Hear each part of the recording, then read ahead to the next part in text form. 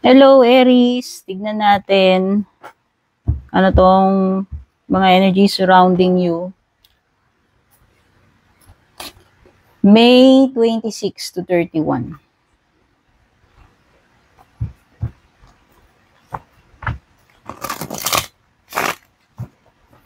Kung bago po kayo dito, please don't forget to subscribe, like, or follow. Personal reading services, meron tayong mga promo na paparating starting May 21. Kaya kung magbubook kayo, mag-PM lang kayo sa aking official Facebook page. Meron po tayong 100% off sa lahat ng mga reading services natin starting May 27. Kaya kung magbubook kayo ng mga starting ng mga ganong date yan, makaka-avail kayo ng promo. Siyempre, depende yan sa slots available. Limited lang naman yung slots natin. Okay?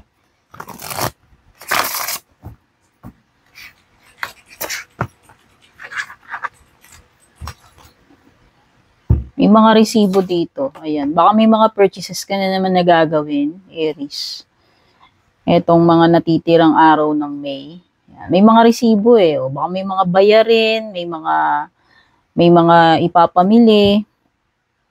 At yung iba may nightlife, may gimmick, o baka may ano, night out with friends or family. Yung iba dito may gamble-gamble, ibig sabihin merong something na magte-take ka ng risk. Sabihin na natin, o may Vegas. Ibig sabihin, yung iba baka mahilig kayo sa mga ano, yung mga casino, yung mga sugal-sugal. Ayan. Kaya yung iba may ganyan.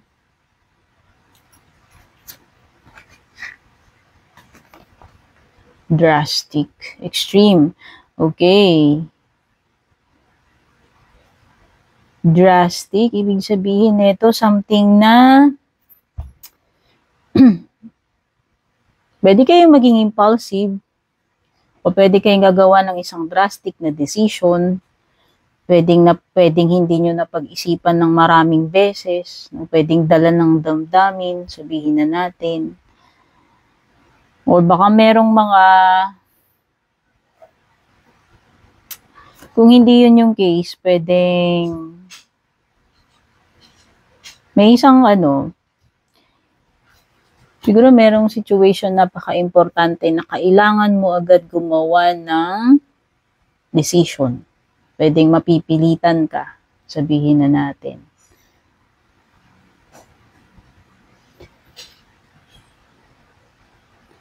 Threatened. Meron ditong ano, threatened card, embarrassed, embarrassed appearances. Hmm. O mukhang may some kind of threat na paparating sa inyo, Aries, no? Itong last days ng May. So, maging ready ka. Pressure cooker. Nako, mukhang ano, may malapit ng sumabog. Okay? Sa matinding pressure, sa matinding galit, kasi hindi lang about pressure eh. Yan, no, may pressure, may galit, ready to explode. Hmm. Kumbaga, isang degrees Fahrenheit, degrees Celsius na lang kulang sa sabog ka na Aries, no? So, may makakapagpa-trigger sa'yo dito. Merong some kind of stress, pressure, or something na makakapagpa-trigger ng galit mo to the point na sasabog ka. Projected future days, weeks, months. Mm-hmm. May mga bagay dito na parang ano, siguro kailangan maghihintay ka pa ng mga ilang weeks, days, or months bago mo ma-accomplish to, ma-complete, no? Sabihin na natin, trabaho yan or goal, could be anything, pero merong, kumbaga, ano, hindi agad-agad, no? Hindi pa agad-agad kung ano ito. Maghihintay ka pa or kailangan mo pang mag-work hard ng mga ilang araw or ilang weeks or possible months bago mangyari ito. History parang merong history repeating itself dito. Ayan, may history card ka. Nangyari na in the past. Possible na maulit-uli. Pwedeng past person yan. O kahit hindi yan romantic anything na naging issue or nangyari in the past na posibleng mag-recur. Okay? History repeating itself. Pwedeng, pwedeng uulit. Waves, emotions coming and going. Feelings. Sabihin na natin, pwedeng may kinalaman sa past person mo past feelings na nanunumbalik. Okay? Romantic man ito, hindi. Hindi ko alam ang nature niyan. Pero meron something na nangyari na in the past, posibleng mauulit-uli ngayon. No? At mukhang may kinalaman sa feelings.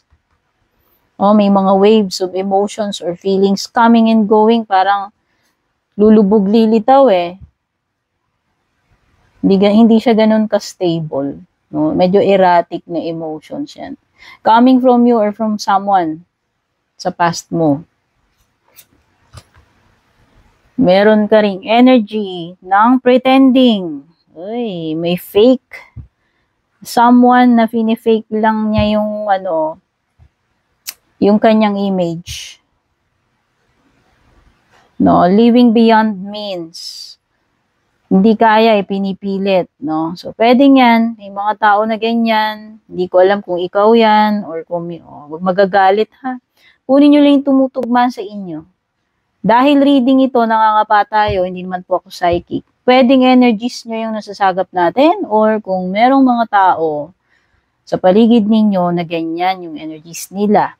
No? Kasi syempre, involved pa rin sa'yo yun. Sabihin na natin na pwedeng affected ka So, meron dito, someone na faking yung kanyang image. So, pwedeng hindi talaga siya, halimbawa, pinaproject niya na ano, na bongga yung pamumuhay niya. Pero actually, hindi. Actually, inutang lang niya yun, ulugan lang niya yun. Parang, hindi ko naman ang purpose niya, pero sabihin na natin, trying hard trying hard na maging social, trying hard na maging konyo, or, or kung ano man, no? Someone na, ano, pinifake niya yung image niya. Plugged. Tuned in, internet connected. Ano to? Kung may kinalaman sa internet, pagiging online, uh, meron ka bang mga pinagkakakitaan or pinagkakaabalahan online. So, ayan pwedeng magiging very busy ka, very active ka sa social media, or kung meron kang platform, kung creator ka, o kung ano man, sabihin na natin, pwedeng hobby mo lang, pastime, or pwedeng yan mismo yung bread and butter mo, pwedeng pinagkakakitaan mo rin, nag enjoy ka at the same time, pero nag-occupy ng oras mo. No, ito ang pagiging online ng matagal. Hmm. Makawala ka masyadong physical activity, madalas po ka, ano, naka, nakadikit ka na lang sa laptop mo, nakadikit ka na lang sa phone mo, depende, no? Pero ito ay pagiging online, no? Palaging online. Connect, connected. So, sabihin na natin may mga may mga kakilala ka rin or parang network community yan, pwedeng community or mga mga pakilala mo na pwedeng ano, pwedeng kasosyo mo sila or kasama mo sila dito sa activity na ginagawa mo online. Poison, toxic, unhealthy behaviors people. Pwedeng may mga nakakaumay, may mga toxic na people or situations parating sa iyo itong mga last days ng May. Unhealthy, alam na natin, toxic. O, ano yan? So, dapat mong iwasan yung mga ganyang interactions. Yung mga toxic people, toxic behaviors, no? Pwedeng makapagpa-trigger sa'yo kaya, ayan, may mga trigger sa'yo dito eh. Stress, pressure, galit, iba, yun yung paninang binanggit ko. Ayan oh, speaking of triggers, lumabas. May triggers talaga. At meron kang tendency sumabog itong May. Mga katapusan ng May Aries. No? May mga mag, may mga toxic situation or people na makakapagpa-trigger sa iyo. Trash. Discarding, throwing out. Yan. Yung mga toxic behavior na yan, toxic people, unhealthy, yan yung mga dapat mong i-discard sa buhay mo. Yan yung nagbibigay sa iyo ng pressure, yun yung nagbibigay sa iyo ng stress para ikaw ay sumabog. Kasi yan, ready to explode ka na talaga. Sabi ko nga, isang centigrade, isang Celsius na lang, isang Fahrenheit na lang yung hindi pumipirma eh para sumabog ka. So, ganun ka na katin, uh, ka-close doon sa iyong explosion. No? Dahil dito sa mga triggers na to, so sabihin na natin, pwedeng wala namang mga toxic na tao, pwedeng natitrigger ka lang din talaga, baka irritable ka, o may mga tendency ka ng mga ganyan na hindi mo mapipigilan, magkakaroon ka ng mga outburst, no? So, ayan, this is taking out trash. Sabihin na natin kung hindi ito about toxic people. Pwedeng may mga decluttering kang gagawin. O baka kailangan mo general cleaning, ang dami mong kailangan i-discard ng mga gamit sa bahay, basura, kalat, etc. Kung ano-ano man. Anything to related doon sa iyong pagki-clean up. Kung man yung mga dapat mong i-get rid of na, i-discard na. Okay?